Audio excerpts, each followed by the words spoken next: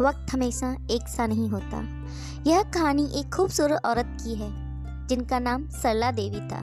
वह एक primary school teacher थी। यह बात 1960 के वक्त की है, जब देश में छुआछूत बुरी तरह छाया हुआ था।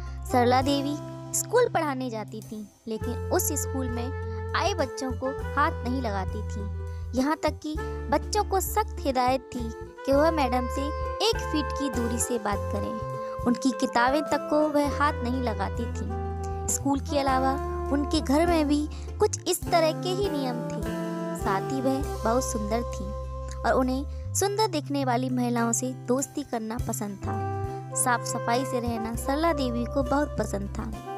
वो बिस्तर पर एक सल भी देखना पसंद नहीं करती थी। यहाँ तक कि छोटे छोटे बच्चों को भी वो प्यार नहीं करती थी, क्योंकि कहीं वो गंदगी न कर दें। उन्हें तोहफे देती थी, खाने की अच्छी चीज़ें देती थी, दिल से दुआ भी देती थी, पर उन्हें कभी अपनी गोद में नहीं बिठाती थी और नहीं अपने बेड पर, क्योंकि उन्हें हमेशा बच्चों के गंदे कर देने का डर होता था। वक्त बीत गया, सरला देवी की उम्र सत्तर वर्ष हो गई। उनके पास उनकी एक बेटी रहती थी। अब सरला देवी को एक बहुत बुरी बीमारी हो गई थी। ना वो चल सकती थी, ना किसी के सहारे के बिना एक करवट बदल सकती थी, और उनका शरीर दुर्बल हो गया था।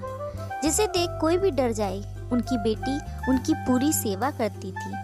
पर फिर भी कई बार सल्ला देवी जी घंटों गंदगी में पड़ी रहती।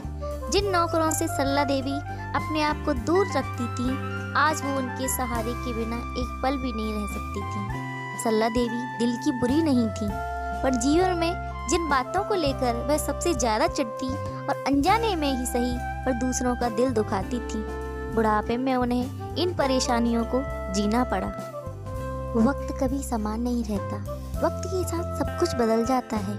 लेकिन अपने व्यवहार को इस तरह रखें कि कभी भी वक्त के आगे आपको झुकना ना पड़े। कहते हैं, इंसान जिस चीज़ से भागता है, उसे उसका सामना करना पड़ता है। इसलिए कभी किसी चीज़ से घृणा न पालें। और शारीरिक सुंदरता कभी नहीं टिकती, ना उस पर अभिमान करना चाहिए और ना ही किसी को उसके रूप के लिए कोसना चाहिए। दोस्तों, अगर वीडियो पसंद आई हो तो लाइक करें, शेयर करें और चैनल को सब्सक्राइब करना ना भूलें। धन्यवाद।